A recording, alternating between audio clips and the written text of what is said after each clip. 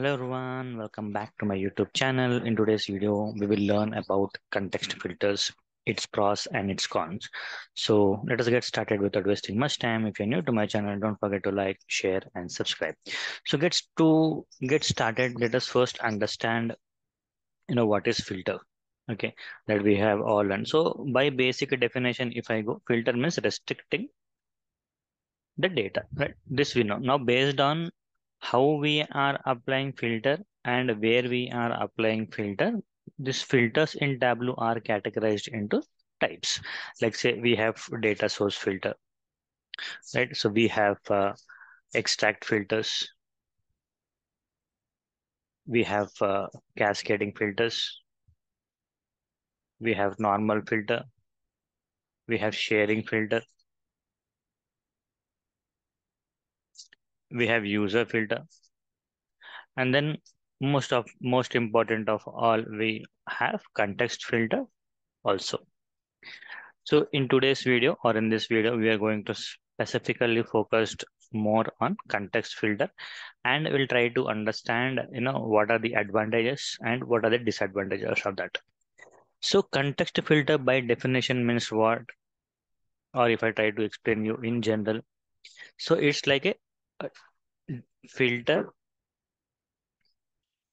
on a filter simple. Or someone will, will call it like say you know it will create a temp table. On top of that again filter will be applied something like this. Or you know again if at all i want to add one more point uh, i'm changing the behavior of tableau here. Like say filters in general in nature are independent in nature. Like you say, if you have multiple filters in place, they work independently. But if you are, you know, making a filter as a context, so you are forcing that to be dependent. So the, again, it is again one more point here, dependent filters. And if I have to write one more point here, what would I say? You are forcing Tableau to execute this filter first. Whatever is in context you are asking tableau boss you know first execute this filter then whatever the data is coming out from that filter that has to be applied to other filters. Okay?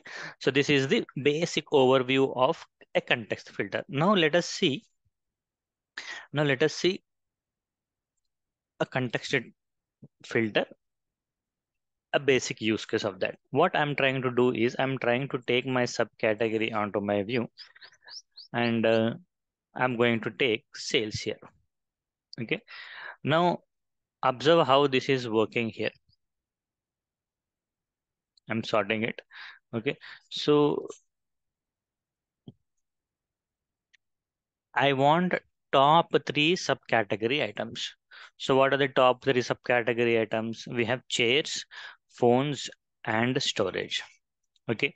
Now i want this top three with respect to each of my category or whatever the category that i'm selecting. So how do we do this in general?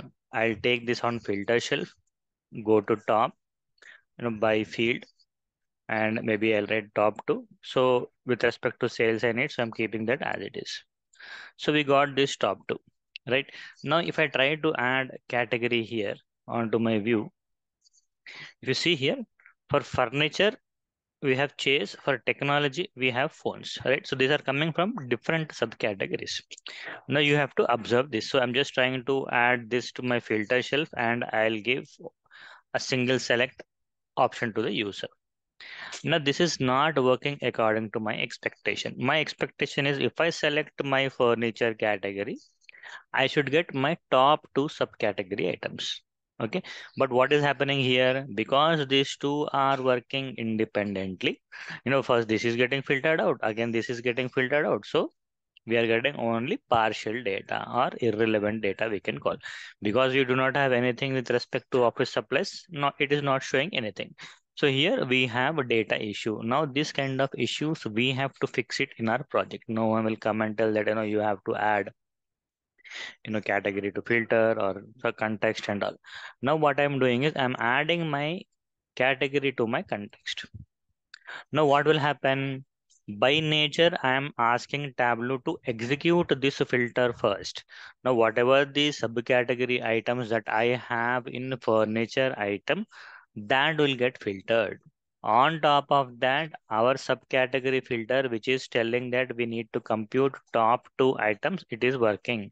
Now, when I select furniture, it is showing top two subcategory items within this furniture category. So likewise, if I select office supplies, it is showing top two for my office supplies. Likewise, for technology, it is phones and machines. Okay, so this is how the behavior of a context filter will work. Now let us understand what are the pros and cons. First one is performance optimization, obviously, because you know what happens is like say I'm taking the example of my region field here. Okay, so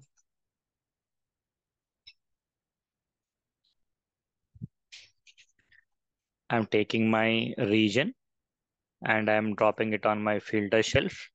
I'll select only West, apply OK, and I'm adding this to my context.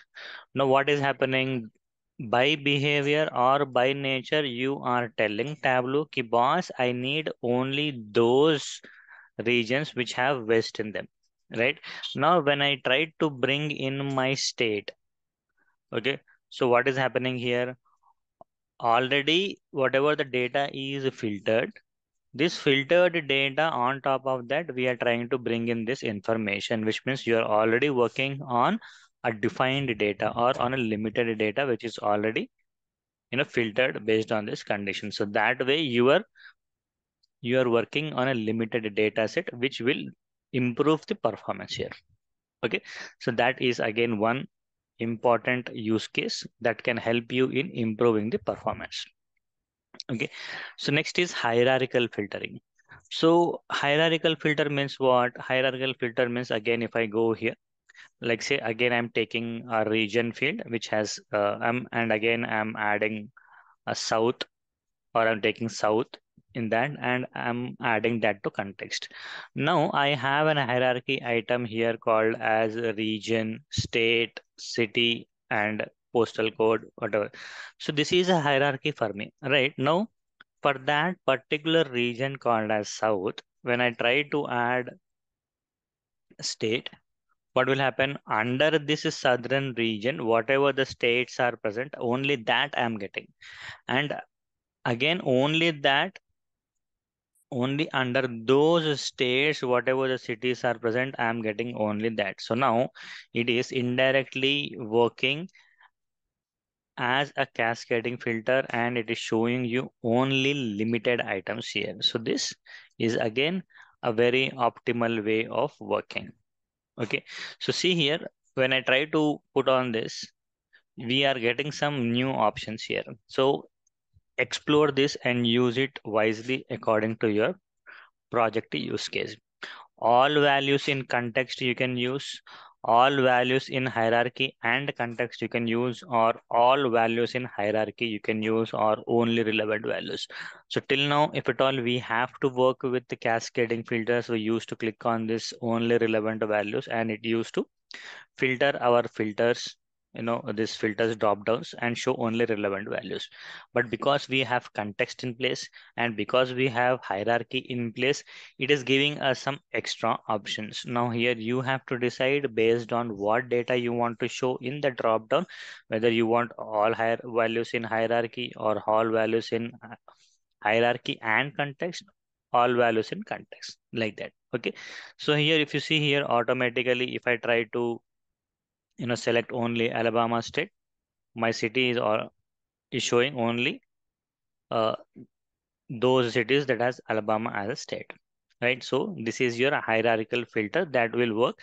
And now it is making this dependent on this. So first this filter will get executed. Again on top of this this will get executed.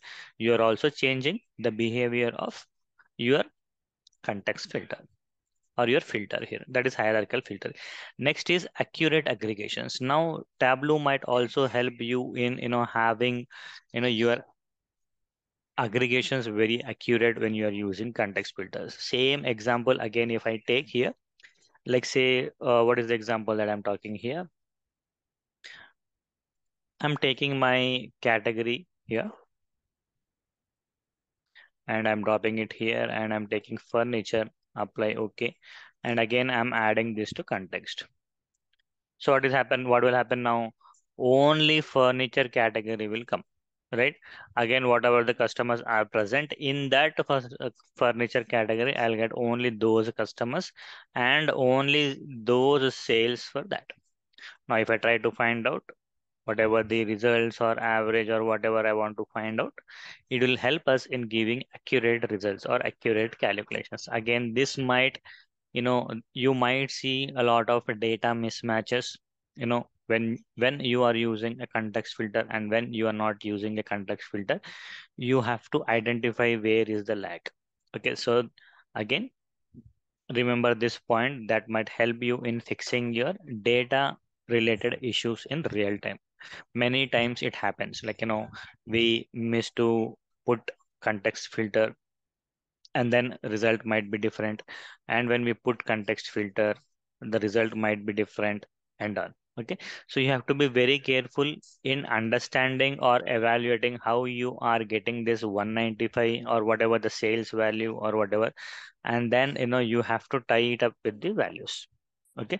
So remember this point. It might help you in real time so that is your accurate aggregations. Next, like I said earlier, it is dependent filter.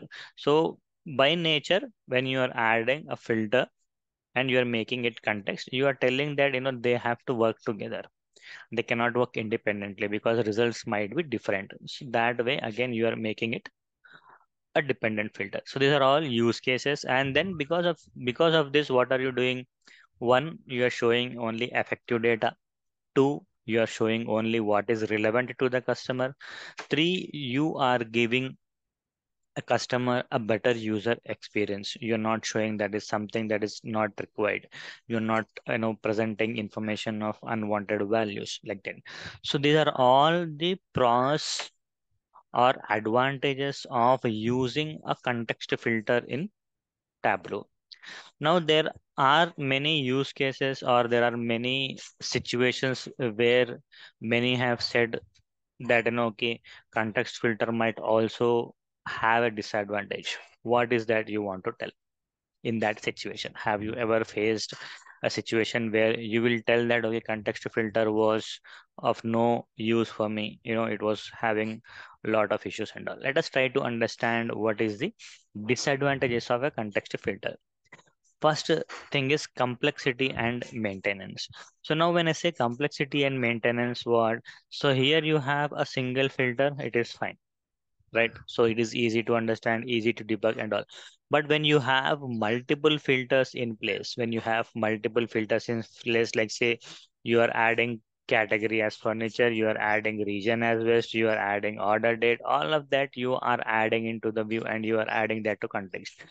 Now, when you are trying to troubleshoot this and understand what is the data that is coming out from this, it will be very challenging for you. Okay, so remember this point. So because here, if I talk with respect to sample superstore, data might be very limited. So it might be easy for us to debug. But in real time, we might be working with millions of data right?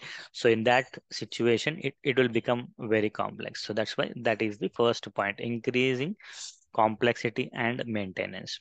Next is a fixed context. Now by if i what i mean by fixed context is now you are adding category as furniture and you are showing some result. Now suppose this is a static now or this is fixed context right? So you cannot change because neither you are showing as a filter shelf or nothing. You just filtered it now, every time you try to change a context filter, what will happen? It will recreate those temporary table, whatever we are calling, and it will again filter the data based on that, or it will reload all of that values or the load time of your dashboard will increase every time you change the values in the context right so again if you are adding this and if you want to change you have to manually go back and change the values again that is one of the disadvantages of using a context filter. So that is what it is calling here. Okay. Third one is performance trade-off. So performance trade-off means what? Like I said, you know, if at all I am changing my values in my context. Like say you want to change, you know, category from furniture to something else, from region from west to something else, from year of order date from whatever the date is there to other date. So what will happen in this situation? So whenever you are changing all of this, it will again recreate its temporary table because it has to, you know, get those new values, right? So when it gets new values, again on top of that, it has to apply second filter okay again this will get reloaded so this load time will increase and it will cause you the uh, difficulties in that okay again this is a concern for us. Okay so that is why i said performance trade-off. So like say there is a saying too many cooks spoil the broth right? So similarly here single context filter if you're using okay it might we can tell that you know okay it is uh, an advantage for us because we are showing or we are working on a limited data set uh, that is already filtered. And on top of that we are trying to bring in other information. But when you have multiple filters in that place every time it has to create temporary tables. Every time you are changing user interaction is happening it will increase the load time and that's way that's how the context filters the performance of your dashboard might decrease. User might say you know the load time of dashboard is more. The initial load time of your dashboard will increase. So all of these are disadvantages of a context filter. Now when you have such filters if you get any data issues just think you know how much of trouble we are going to have in identifying where the issue is. Okay so in one place you might have normal filter and in another place you might not have a normal filter like that. Okay so identifying or you know you know finding the rca for your you know missing entry or you know showing a little higher value than the expected then troubleshooting those will become very you know challenging for you because the volume of your data will be very huge. So to come to you know drill down to the lowest level where the issue is there it will take a lot of time for you. So that's why they say that you know you will have a lot of time in debugging or troubleshooting the when you have multiple context in place. Okay. Now you have to think in project do i really require multiple context in place every time? Or only I can work with you know single filter and all. So decide choose wisely whenever you are working in a project whether you really require multiple contexts or one context is enough and all and based on that take a decision. Because end of the day performance is what we all need and accurate numbers is what everyone needs okay. So focus on these two points always and take a wide decision. I hope this video has helped you in you know having a clarity on context filters. If it does don't forget to leave your comment. See you in the next video. Till then bye bye and have a good day